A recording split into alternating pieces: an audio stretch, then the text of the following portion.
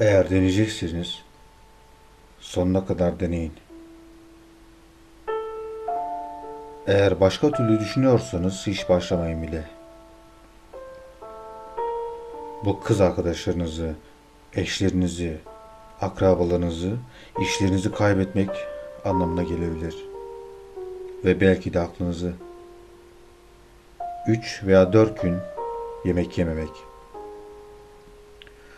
Bankta donmak. Hapse girmek.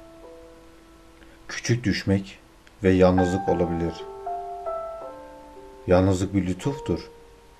Diğerleri ise sabrınızın. Gerçekte ne kadar yapmak istediğinizin sınanmasıdır. Reddedilmeye ve en garip ihtimalleri rağmen yaparsınız. Ve hayal edebileceğiniz herhangi bir şeyden bile daha iyidir. Eğer deneyecekseniz sonuna kadar deneyin. Bunun gibi başka bir his yoktur. Ve geceler ateşle alevlenir. Hayatınızı kusursuz kahkahaya doğru yaşarsınız. Bu mevcut olan en iyi savaşımdır.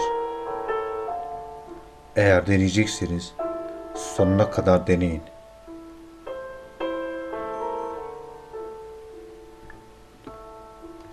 Charles Koski